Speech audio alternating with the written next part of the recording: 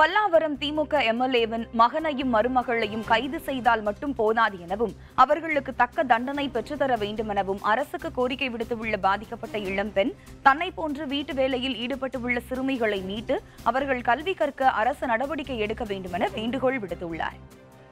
இது மட்டும் போதாது அவங்களுக்கு அவங்களை கைது பண்ணிட்டாங்க அப்படின்றதுக்காக விட முடியாது.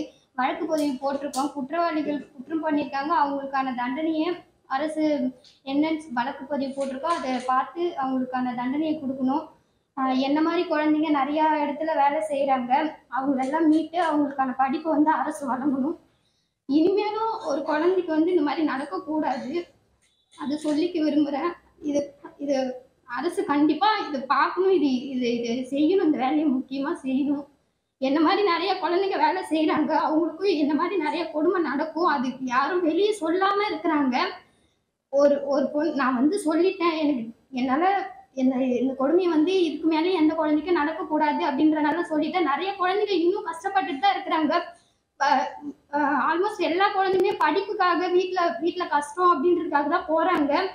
அரசு இதை பார்த்து குழந்தைங்களை எல்லாத்தையும் மீட்டு அவங்களுக்கான படிப்புன்னு கொடுக்கணும்னு நான் கேட்டுக்கிறேன்.